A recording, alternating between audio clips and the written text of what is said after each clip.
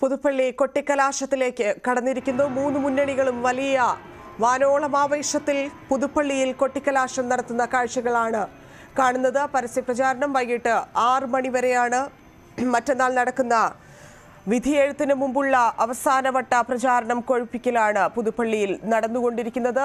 വലിയ ആത്മവിശ്വാസത്തിൽ സ്ഥാനാർത്ഥികൾ ഇന്ന് നമ്മളോട് സംസാരിച്ചു. ഐശ്വര്യാനിൽ ചേരുന്നുണ്ട്. ഐശ്വര്യ എല്ലാ മുന്നണികളുടെ പ്രവർത്തകരും പാമ്പാടിയിലേക്ക് എത്തിയിരിക്കുന്നു. എത്ര വലിയ ആവേശമാണ് പ്രവർത്തകർ അവിടെ ഉണ്ടാക്കുന്നത്. എത്രത്തോളം ആത്മവിശ്വാസമാണ് ഇവരുടെ കൊട്ടിക്കലാശത്തിൽ നിന്ന് കിട്ടുന്നത്.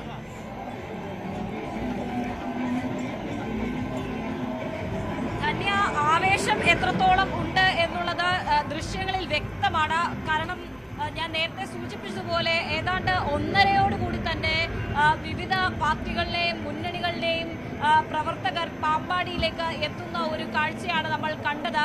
അതിനുശേഷം ഏതാണ്ട് മൂന്ന് മണിയോടുകൂടി വലിയൊരു ആവേശം അത് തന്നെയാണ് പാമ്പാടിയിൽ അലയടിക്കുന്നത്. പുതുപ്പള്ളി ഉപതെരഞ്ഞെടുപ്പ് അതായത് നേരത്തെ ധന്യ സൂചിപ്പിച്ചതുപോലെ വിധി എഴുതാൻ ഇനി മണിക്കൂറുകൾ മാത്രം ബാക്കി നിൽക്കെ പാർട്ടി പ്രവർത്തകരുടെയും മുന്നണികളുടെയും ആവേശമാണ് നമുക്ക് ഇപ്പോൾ പാമ്പാടിയിൽ കാണാൻ കഴിയുന്നത്.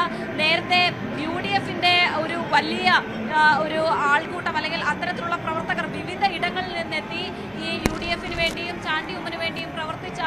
പ്രവർത്തകർ പാമ്പാടിയിൽ എത്തിയെങ്കിൽ മറുവശത്ത് ഇപ്പോൾ ബി ജെ പിയുടെ ഒരു ആവേശമാണ് നമുക്ക് കാണാൻ കഴിയുന്നത്. ബി ജെ പി പ്രവർത്തകർ അത്രയധികം ആവേശത്തോടു കൂടി ഇവിടെ എത്തുന്നു. മറുവശത്ത് സി പി എം ഒപ്പം തന്നെ എൽ ഡി എഫ് പ്രവർത്തകരുമുണ്ട്. അങ്ങനെ പാമ്പാടി ആകെ മൊത്തം ആവേശ കൊടുമുടിയിലേക്ക് എത്തുകയാണ്. കാരണം നേരത്തെ പല മുന്നണികളും അതായത് ഈ സാഹചര്യം കൂടി കണക്കിലെടുത്ത് അത്ര അധികം ആഘോഷങ്ങൾ ഉണ്ടാകില്ല എന്ന് അറിയിച്ചെങ്കിലും ഈ തെരഞ്ഞെടുപ്പിന്റെ ഓരോ ഘട്ടം കഴിയും തോറും വിവിധ ഇടങ്ങളിൽ നിന്ന് പ്രവർത്തകരെത്തി മുന്നണികൾക്ക് വേണ്ടി പ്രവർത്തിക്കുന്ന ഒരു കാഴ്ച മാത്രമല്ല സാധാരണഗതിയിലല്ലാത്തതുപോലെ ഒരു അത്രയധികം ശ്രദ്ധ പുലർത്തി നേതൃത്വങ്ങൾ ഒരു അത്ര അത്രയധികം ഇമ്പോർട്ടൻസോടുകൂടി അല്ലെങ്കിൽ പ്രാധാന്യത്തോടുകൂടി കണക്കിലെടുത്ത ഈ ഉപതെരഞ്ഞെടുപ്പിന് തുടക്കം മുതൽ തന്നെ യു ഡി എഫിന്റെ മാത്രമല്ല എൽ ഡി എഫിന്റെയും ബി ജെ പിയുടെയും സംസ്ഥാന നേതൃത്വം ക്യാമ്പ് ചെയ്തുകൊണ്ടുള്ള രണ്ടാഴ്ചത്തെ പ്രവർത്തനങ്ങൾ. അതാണ് ഈ കഴിഞ്ഞ രണ്ടാഴ്ച നമ്മൾ പുതുപ്പള്ളിയിൽ കണ്ടത്. അതിന്റെ ഏറ്റവും അവസാന ദിവസം അതായത് പരസ്യ പ്രചരണം അവസാനിക്കാൻ ഇനി നിമിഷങ്ങൾ മാത്രം ബാക്കി നിൽക്കെ വിവിധ ഇടങ്ങളിൽ നിന്നെത്തിയ പ്രവർത്തകരുടെ ആവേശം അത് വാനോളമാണ്. പറഞ്ഞാൽ പോലും നമുക്ക് ഒരുപക്ഷെ നേരത്തെ ഞാൻ സൂചിപ്പിച്ചിരുന്നു യു ഡി എഫിന് ഇത്തവണ ആഘോഷങ്ങളില്ല എന്നൊക്കെ പറഞ്ഞിരുന്നെങ്കിൽ പോലും ഇവിടെ ഈ കലാശക്കൊട്ടിന് ഇനി അല്ലെങ്കിൽ ആ ഒരു അവസാന പരസ്യ പ്രചരണത്തിന്റെ അവസാന നിമിഷങ്ങളിലേക്ക് കടക്കുമ്പോൾ അത്രയധികം ആവേശത്തിലാണ് പ്രവർത്തകർ. നേരത്തെ പറഞ്ഞതുപോലെ ഒരു പക്ഷേ ഇതൊന്നും പുതുപ്പള്ളിക്കാർ മാത്രമല്ല കേരളത്തിൽ അങ്ങോളം ഇങ്ങോളമുള്ള യു ഡി എഫിന്റെയും ബി ജെ പിയുടെയും എൽ ഡി എഫിന്റെയും പ്രവർത്തകർ പുതുപ്പള്ളി കേന്ദ്രീകരിച്ച് കഴിഞ്ഞ ദിവസങ്ങളിലൊക്കെ നടത്തിയ പ്രവർത്തനങ്ങളുടെ അവസാന നിമിഷങ്ങളാണ് അവർ ആറ് മണിയോടുകൂടി എല്ലാവരും ഇവിടെ നിന്ന് പിരിഞ്ഞു പോകേണ്ടി വരും. ആ നിമിഷങ്ങളിൽ അവരുടെ ആവേശമാണ് നമുക്ക് കാണാൻ കഴിയുന്നത്. അത്രയും അതായത് പുതുപ്പള്ളി യു ഡി എഫിന്റെ സിറ്റിംഗ് അതുകൊണ്ട് തന്നെ അവർ അത്രയധികം ആത്മവിശ്വാസത്തോടു കൂടിയാണ് ഈ തെരഞ്ഞെടുപ്പിനെ നേരിടുന്നത്. പക്ഷേ അത് അതിനെ അങ്ങനെ അങ്ങ് വിട്ടുകളയാൻ അവർ തയ്യാറല്ല. അവർക്ക് ജയം മാത്രം പോരാ. ഭൂരിപക്ഷം റെക്കോർഡ് ഭൂരിപക്ഷം അതായത് ഉപതെരഞ്ഞെടുപ്പിലെ റെക്കോർഡ് ഭൂരിപക്ഷം സ്വന്തമാക്കുകയാണ് യു ഡി എഫിന്റെ ലക്ഷ്യം. മറുവശത്ത് എൽ ഡി എഫ് ആകട്ടെ ഉമ്മൻചാണ്ടി ഫാക്ടർ മാത്രമല്ല ഇത് ഇടത് സർക്കാരിന്റെ വിലയിരുത്തലാണ്. മറുവശത്ത് ഇടത് സർക്കാർ ചെയ്ത വികസനങ്ങളുടെ ക്ഷേമ പ്രവർത്തനങ്ങളുടെ വിലയിരുത്തലാണ് എന്ന് പറഞ്ഞുകൊണ്ട് അങ്ങേയറ്റം ആവേശത്തോടുകൂടി എൽ ഡി എഫ് പ്രവർത്തകർ ജെയ്ക് സി തോമസിന് നമുക്കറിയാം കഴിഞ്ഞ മുൻ കഴിഞ്ഞ തവണ ഉമ്മൻചാണ്ടിയുടെ ഭൂരിപക്ഷം കുറച്ച ഒരു സ്ഥാനാർത്ഥി കൂടിയാണ്. അതേ സ്ഥാനാർത്ഥിയെ രംഗത്തിറക്കിക്കൊണ്ടുള്ള ഒരു നീക്കം അത് എത്രത്തോളം ഫലം കണ്ടു എന്നതൊക്കെ എട്ടാം തീയതി മാത്രമേ അറിയാൻ സാധിക്കുകയുള്ളൂ. എങ്കിൽ പോലും അത്രയധികം ആവേശത്തോടു കൂടിയാണ് എൽ ഡി എഫ് ഈ ഒരു തെരഞ്ഞെടുപ്പിനെ നോക്കിക്കാണുന്നത്. ഒപ്പം തന്നെ മറ്റൊരു പ്രധാനപ്പെട്ട കാര്യം എന്ന് പറയുന്നത് സി പി എമ്മിന്റെ പ്രധാന നേതാക്കളൊക്കെ തന്നെ ക്യാമ്പ് ചെയ്തിരുന്നു അതായത് യു ഡി എഫ് നമുക്ക് അറിയാവുന്ന പോലെ തന്നെ യു ഡി എഫിന്റെ പ്രതിപക്ഷ നേതാവ് ഉണ്ടായിരുന്നു ഇവിടെ. ഒപ്പം കെ പി സി സി അധ്യക്ഷനുണ്ടായിരുന്നു. മറ്റ് നേതാക്കളൊക്കെ ഇവിടെ ക്യാമ്പ് ചെയ്തുകൊണ്ടുള്ള ഒരു പ്രവർത്തനമായിരുന്നു. തൃക്കാക്കരയിൽ തൃക്കാക്കരയിൽ നമ്മൾ കണ്ടതുപോലെ മന്ത്രിമാരെല്ലാം എത്തും എന്നുള്ള പ്രഖ്യാപനത്തിനപ്പുറത്തേക്ക് ഇവിടെ പലപ്പോഴും പല ഘട്ടങ്ങളിലും നമ്മൾ കുടുംബയോഗങ്ങൾ പോലും എൽ ഡി എഫ് മാധ്യമങ്ങളെ മാധ്യമങ്ങളെ അറിയിക്കാതെ ആ രീതിയിൽ ഓരോ ബൂത്തിലും പത്ത് കുടുംബയോഗങ്ങൾ വീതം സംഘടിപ്പിച്ച് നേരിട്ട് ഈ പ്രധാന നേതാക്കൾ സംസ്ഥാന നേതാക്കൾ സി പി എമ്മിന്റെ നേതാക്കൾ നേരിട്ടെത്തി സർക്കാരിന്റെ ക്ഷേമ പ്രവർത്തനങ്ങളും വികസന പ്രവർത്തനങ്ങളും എണ്ണി പറഞ്ഞുകൊണ്ടുള്ള ഒരു പ്രചാരണമാണ് എൽ ഡി എഫിന്റെ ഭാഗത്തു നിന്നുണ്ടായത്. ബി ജെ പിയും ഒട്ടും പിന്നോട്ട് പോയില്ല. നേരത്തെ മുൻപും പലതവണ നമ്മൾ ചർച്ച ചെയ്തതുപോലെ ബി ജെ പിയുടെ സാധാരണഗതിയിൽ ഉപതെരഞ്ഞെടുപ്പ് വന്നാൽ ഈ സംസ്ഥാന നേതാക്കളെ ഇറക്കിയുള്ള അല്ലെങ്കിൽ സംസ്ഥാന നേതാക്കളെ ഒരു സ്ഥാനാർത്ഥിയാക്കി ആ രീതിയിലുള്ള ആ രീതിയിലുള്ള ഒരു സ്ട്രാറ്റജിയാണ് ബി ജെ പി മുന്നോട്ട് വെക്കുക. പക്ഷേ ഇത്തവണ അതെല്ലാം മാറ്റിപ്പിടിച്ചുകൊണ്ട് കോട്ടയത്തുകാരനായ വിജിൻ ലാലിനെ മുൻനിർത്തിയുള്ള ഒരു സ്ട്രാറ്റജിയാണ് ബി ജെ പി മുന്നോട്ട് വെച്ചത്. ആ സ്ട്രാറ്റജിയും എത്രത്തോളം ഫലം കണ്ടു എന്നുള്ളത് എട്ടാം തീയതി അറിയാൻ സാധിക്കുള്ളൂ. പക്ഷേ അതിനപ്പുറത്തേക്ക് ബി ജെ പി സംസ്ഥാന അധ്യക്ഷൻ കെ സുരേന്ദ്രൻ കേന്ദ്രമന്ത്രി വി മുരളീധരൻ ശോഭ സുരേന്ദ്രൻ അടക്കമുള്ള മുതിർന്ന നേതാക്കൾ ഇവിടെ എത്തി പുതുപ്പള്ളിയിൽ ക്യാമ്പ് ചെയ്തുകൊണ്ടുള്ള ഒരു പ്രചരണം. അതായത് ചുരുക്കി പറഞ്ഞാൽ മൂന്ന് മുന്നണികളുടെയും നേതാക്കൾ ഈ കഴിഞ്ഞ രണ്ടാഴ്ച പുതുപ്പള്ളിയിൽ ഉണ്ടായിരുന്നു. മറ്റെങ്ങുമല്ല രാഷ്ട്രീയ കേരളം ഉറ്റുനോക്കിയത് പുതുപ്പള്ളിയായിരുന്നു. ആ പുതുപ്പള്ളിയിലെ കലാശക്കൊട്ടാണ് ഇപ്പോൾ നമ്മൾ കാണുന്നത്. ഇനിയും മണിക്കൂറുകൾ അതായത് ഇപ്പോൾ ഏതാണ്ട് നാല് മണിയാകാൻ പോകുന്നതേ ഉള്ളൂ. അല്പസമയത്തിനകം സ്ഥാനാർത്ഥികൾ ഇവിടെ എത്തിച്ചേരും. ചാണ്ടിയുമ്മന്റെ കാര്യത്തിൽ മാത്രമാണ് ഇവിടെ എത്തിച്ചേരില്ല എന്ന് നമുക്ക് ഈ ഘട്ടത്തിൽ പറയാൻ സാധിക്കുന്നത് കാരണം നേരത്തെ തന്നെ പറഞ്ഞിരുന്നു ഇത്തരം ആഘോഷങ്ങൾക്കില്ല കലാശക്കൊട്ടിന്റെ ഭാഗമാകില്ല എന്ന് ചാണ്ടിയുമ്മൻ വ്യക്തമാക്കിയിരുന്നു. ചാണ്ടിയുമ്മൻ ഈ സമയവും വോട്ടർമാരെ നേരിട്ട് കാണുകയായിരിക്കും ചെയ്യുക. മറുവശത്ത് ജയിക്കും ലിജിൻ ലാലും ഇങ്ങോട്ടേക്ക് എത്തിച്ചേരുമെന്നാണ് മനസ്സിലാക്കുന്നത്. അങ്ങനെ നേതാക്കളൊക്കെ തന്നെ നേതാക്കൾ മാത്രമല്ല ഒപ്പം സ്ഥാനാർത്ഥികൾ കൂടി എത്തി അവസാന മണിക്കൂർ അതായത് ഏതാണ്ട് അഞ്ചു മണി തൊട്ട് ആറു മണി വരെ ഇവിടെ ഈ ഇപ്പോൾ കാണുന്ന ആവേശത്തിന്റെ ഇരട്ടിയാകുമെന്നുള്ള കാര്യത്തിൽ സംശയമില്ല. ഇപ്പോഴും ആവേശത്തിന് ഒരല്പം പോലും കുറവില്ല. ഓരോ പാർട്ടിയും ഈ ആവേശത്തിൽ പോലും മത്സരിക്കുന്നതാണ് നമുക്ക് കാണാൻ കഴിയുന്ന ഓരോ എങ്ങനെയൊക്കെ ഈ കലാശക്കൊട്ട് വ്യത്യസ്തമാക്കാം എന്നുള്ളതാണ് ഈ ഓരോ മുന്നണികളും ശ്രമിക്കുന്നത്.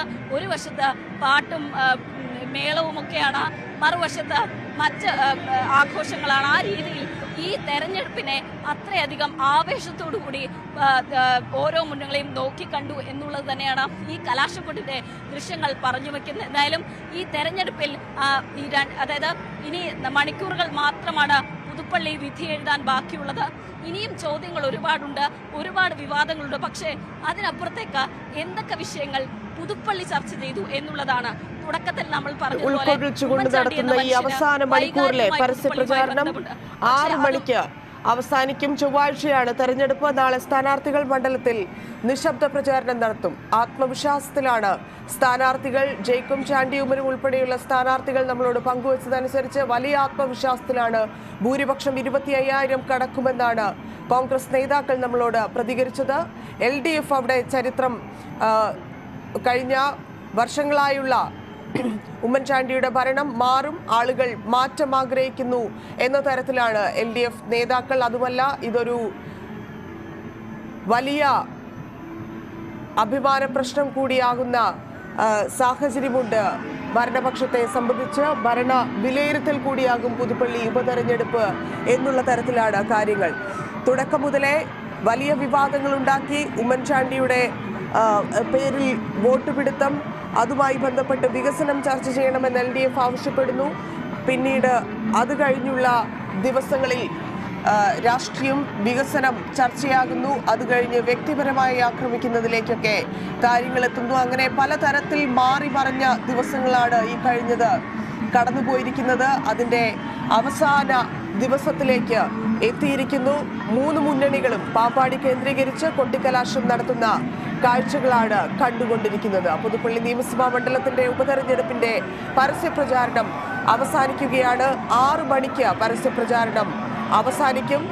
നാളെ സ്ഥാനാർത്ഥികൾ മണ്ഡലത്തിൽ നിശബ്ദ പ്രചാരണം നടത്തും. ചൊവ്വാഴ്ച പുതുപ്പള്ളി വിധിയെഴുതും ടി ജി സജിത്ത് ചേരുന്നുണ്ട്. സജിത്ത് വലിയ ആവേശം മൂന്ന് മുന്നണികളുടെയും പ്രവർത്തകർ തടിച്ചുകൂടുന്ന കാഴ്ച അത്രയും ആവേശത്തോടെ പ്രവർത്തകർ എത്തിയിരിക്കുന്നു അത്രയും ആത്മവിശ്വാസത്തോടെ ഓരോ മുന്നണി പ്രവർത്തകരും എത്തിയിരിക്കുന്നു എന്നുള്ളതാണ് അത്ഭുതം.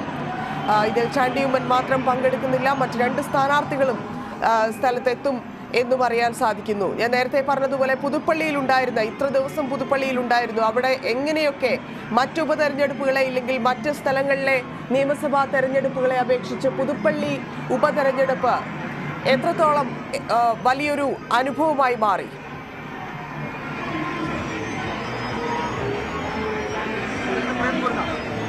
തീർച്ചയായും ധന്യ ധന്യ സൂചിപ്പിക്കുന്നത് പോലെ പുതുപ്പള്ളി ഉപതെരഞ്ഞെടുപ്പ് പലതുകൊണ്ടും പുതിയ തുടക്കമാണ്. പുതിയ പ്രചരണ വിഷയങ്ങൾ കടന്നു വന്നു. പ്രചരണ സാഹചര്യങ്ങളും പ്രത്യേകതകളും നിരവധിയുമുണ്ട്.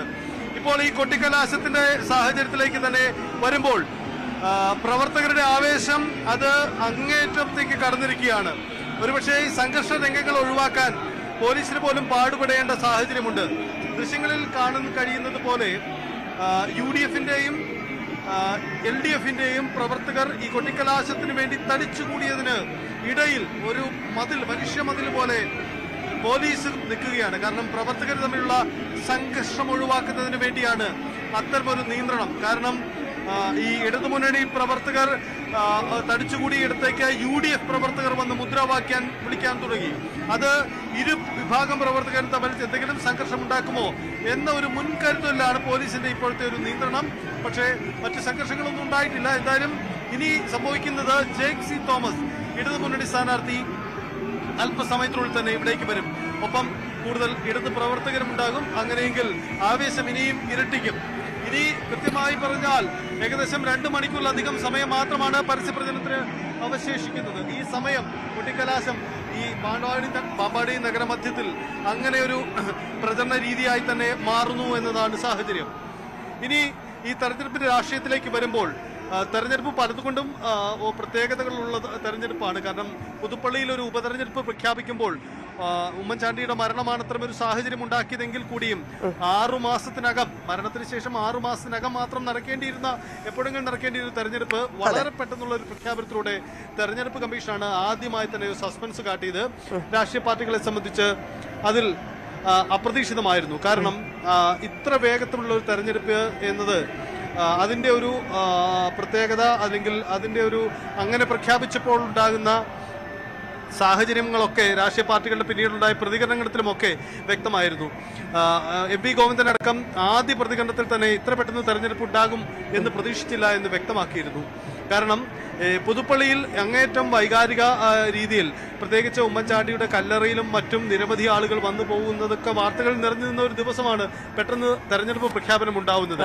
അപ്പോൾ ഈ മണ്ഡലത്തിൽ രാഷ്ട്രീയം പറയാൻ കഴിയുമോ എന്നൊരു വെല്ലുവിളിയായിരുന്നു ഇടതുമുന്നണി നേരിട്ടത്. കാരണം ഏത് മനുഷ്യന് മുന്നിലും രാഷ്ട്രീയം പറയുന്നതിനും അപ്പുറം മരിച്ച വ്യക്തിയോടുള്ള വൈകാരിക സാഹചര്യങ്ങൾ നിലനിൽക്കുമ്പോൾ അതല്ലേ ആദ്യം വോട്ടാവുക അത് മണ്ഡലത്തിൽ പ്രതിഫലിക്കില്ലേ എന്ന സ്വാഭാവിക സംശയം അവർക്ക് ഇടതുമുന്നണിക്കുണ്ടായിരുന്നു. അങ്ങനെയാണ് അവർ അത്തരമൊരു പ്രതിസന്ധിയെക്കുറിച്ച് ചിന്തിക്കുകയും പ്രതികരണം നടത്തുകയും ഒക്കെ ചെയ്തത്. എന്തായാലും ഇടതുമുന്നണി പിന്നീട് ആ രാഷ്ട്രീയ വെല്ലുവിളി ഏറ്റെടുത്തുകൊണ്ട് വലിയ പ്രചരണ പരിപാടികളുമായി. സനീഷ് കുമാർ ചാണ്ടിയുമ്മൻ അടുത്ത് നിന്ന് ചേരുന്നുണ്ട്. ചാണ്ടിയുമ്മൻ ഈ കൊട്ടിക്കലാശത്തിൽ പങ്കെടുക്കില്ല. ഈ ആഘോഷത്തിൽ പങ്കെടുക്കില്ല എന്നുള്ള തീരുമാനമെടുത്തിരുന്നു. പക്ഷേ വോട്ടർമാരെ കണ്ട് നേരിട്ട് വോട്ട് അഭ്യർത്ഥിക്കുന്ന തിരക്കിൽ തന്നെയാണ് ഇപ്പോഴും ചാണ്ടിയുമ്മൻ എം എസ് അനീഷ് കുമാർ ഉണ്ട് ചാണ്ടിയുമ്മൻ അടുത്തുനിന്ന് അനീഷ കൊട്ടിക്കലാശത്തിൽ പങ്കെടുക്കുന്നില്ല എന്നേ ഉള്ളൂ. എവിടെയും റെസ്റ്റ് എടുക്കുന്ന രീതിയൊന്നുമല്ല. ഇപ്പോഴും ചാണ്ടിയുമ്മൻ നിരത്തിലുണ്ട്. ആളുകളെ അവസാനമായി കണ്ട് വോട്ട് അഭ്യർത്ഥിക്കുന്ന തിരക്കിലുമാണ്.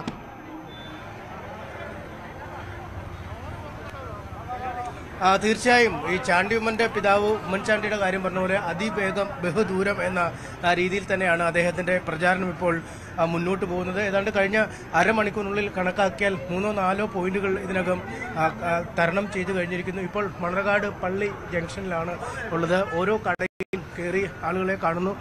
ആരുമായി നേരിട്ട് സംസാരിച്ചൊക്കെയാണ് അദ്ദേഹം വോട്ട് പിടിക്കുന്നത്. ആ ദൃശ്യങ്ങൾ തന്നെ നമുക്ക് കാണാം. സെൽഫി എടുക്കാനൊക്കെ സമയം കണ്ടെത്തുന്നു. പക്ഷെ വളരെ വേഗം ഓരോ കേന്ദ്രത്തിൽ നിന്നും മാറി.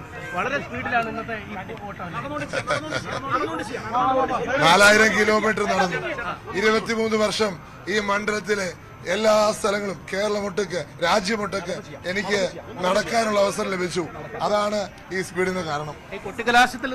ഇല്ല കുട്ടിക്കലാശം ആളുകളെ കണ്ടുപോവുക എന്നുള്ളത് മാത്രമാണ്. കാരണം കുട്ടിക്കലാശത്തിന്റെ സാഹചര്യത്തിലല്ല ഈ തെരഞ്ഞെടുപ്പ് നടക്കുന്നത്.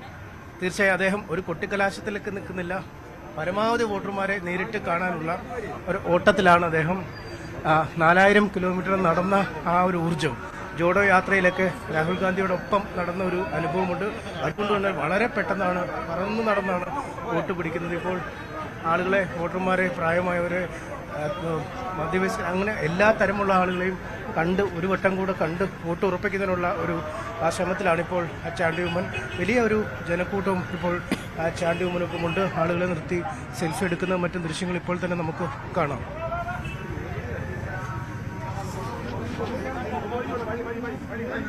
ചാണ്ടിയുമ്മൻ കൊട്ടിക്കലാശത്തിൽ പങ്കെടുക്കുന്നില്ല. കൊട്ടിക്കലാശത്തിനുള്ള സാഹചര്യത്തിലല്ല ഈ തെരഞ്ഞെടുപ്പ് നടക്കുന്നത് എന്നാണ് ചാണ്ടിയുമ്മൻ നമ്മളോട് പ്രതികരിച്ചത്. പല പോയിന്റുകളിലായി കൂടുതൽ ആളുകളെ കണ്ട് വോട്ട് അഭ്യർത്ഥിക്കുന്ന തിരക്കിലാണ് ചാണ്ടിയുമ്മൻ കടകളിൽ കയറുന്നു. മറ്റ് സ്ഥലങ്ങളിൽ വിട്ടുപോയ സ്ഥലങ്ങളെല്ലാം കവർ ചെയ്തുകൊണ്ടിരിക്കുന്ന ചാണ്ടിയുമ്മനെയാണ് നമ്മൾ കാണുന്നത്. മറുവശത്ത് പാമ്പാടിയിൽ വലിയ ആഘോഷം നടക്കുന്നു. കൊട്ടിക്കലാശത്തിന്റെ